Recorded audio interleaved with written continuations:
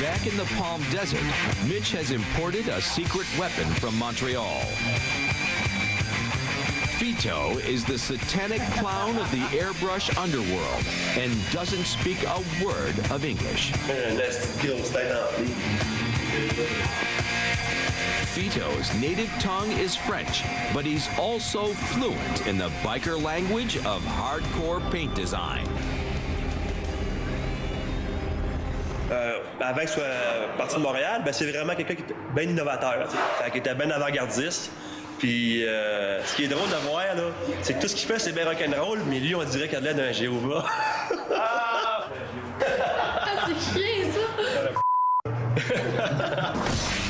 Fueled by caffeine and nicotine, Fito starts sketching out designs channeled from the depths of hell. Je fais n'importe quoi. Je fais n'importe quoi. Je sais pas ce que je fais. Aucune idée. Mais c'est tout le temps le même.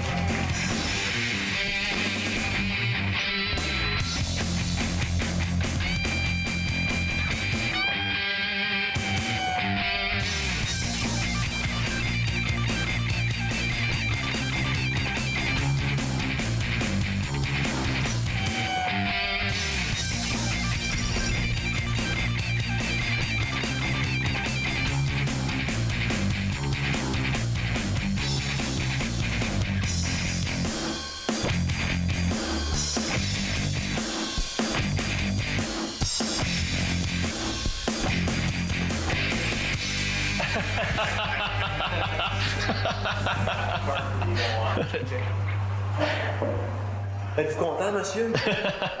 Je suis très content. C'est vous qui l'avez? Very happy, yes. Very happy. I'm always happy with his work, you know. Day 28, Mitch's assembly starts with the arrival of the bike skeleton, covered with skeletons. He's meeting Kendall in just two days, and the bike has got to be ready to roll. Fito's final addition to the gas tank four skulls that symbolize equality after death.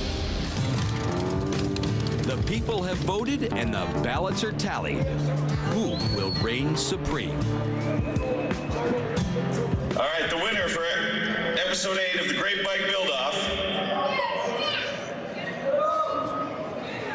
Is Mitch Bergeron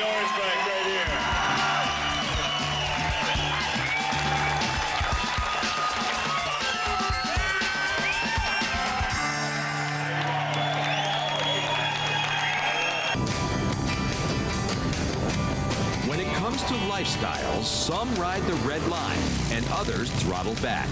But a biker's a biker, no matter how he rolls. Though polar opposites, Mitch Bergeron and Kendall Johnson have found mutual respect.